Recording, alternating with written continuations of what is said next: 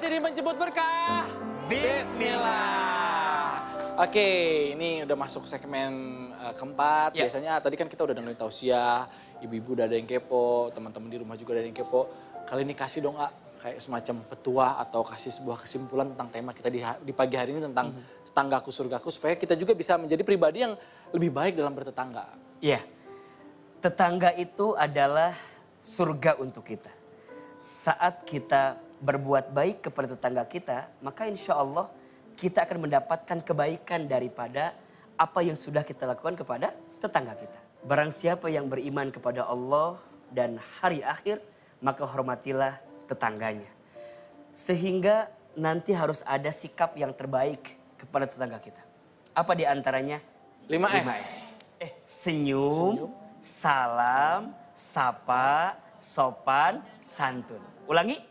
Senyum, salam, sapa, sopan, santun.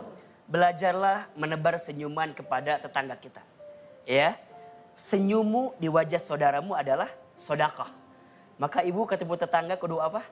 Senyum. Minimal nggak ngasih duit, ngasih apa? Senyum. Karena senyum kita mengantarkan kebahagiaan kepada orang lain. Bahkan di antara amalan Mas Temi yang dicintai oleh Allah salah satunya adalah membahagiakan hati orang lain. Membahagiakan hati tetangga kita. Senyum.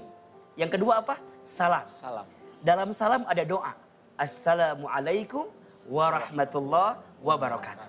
Kalau bertemu dengan tetangga kita, salam. Kalau lewat, salam. Ya. Kalau kita lagi berjauhan juga, kirimkan salam. Insya Allah salam itu akan kembali kepada kita. Yang ketiga, sapa. Nah, jangan sampai ini mah ada tetangga dijudesin. Pura-pura nggak ngeliat aja kalau lewat. ngeliat. Kadang-kadang jadi jalan lain. Males ada si dia gitu kan. Lewat. Yang kelima, santun. Jangan sampai karena kita anggap dia orang dekat dalam hidup kita, kita nggak sopan sama dia. Justru hargailah orang lain sebagaimana kita ingin dihargai. Hormatilah orang lain sebagaimana kita ingin dihormati. Ketika kita menghargai orang lain, maka semesta akan mendatangkan orang-orang baik yang menghargai kita. Tetangga adalah pintu kebaikan yang bisa menghadirkan surga bagi kita.